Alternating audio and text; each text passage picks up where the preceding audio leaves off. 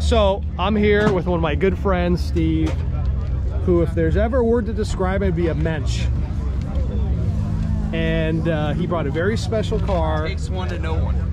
You're far too kind, Steve. Steve, what'd you bring in today? This is a 58 Speedster, um, completely redone by Rod Emory and was uh, Seinfeld's car. It came from his collection. How long have you had it? Uh, five years, six years. It's a great car. It's a great car. Absolutely incredible. Completely full restoration. Well, thank you for bringing the Supercar Sunday. Thank you for everything you do. That's one of the nicest guys you ever meet, ladies and gentlemen. This might be the car of the day. Wow. This is spectacular, Steve. Pretty cool, isn't it? Yeah. I figured I'll start bringing some different cars. This Rather than the same old junk. Spectacular.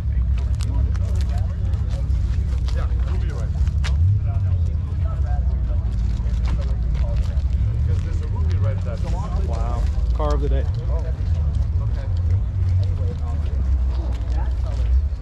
Unbelievable.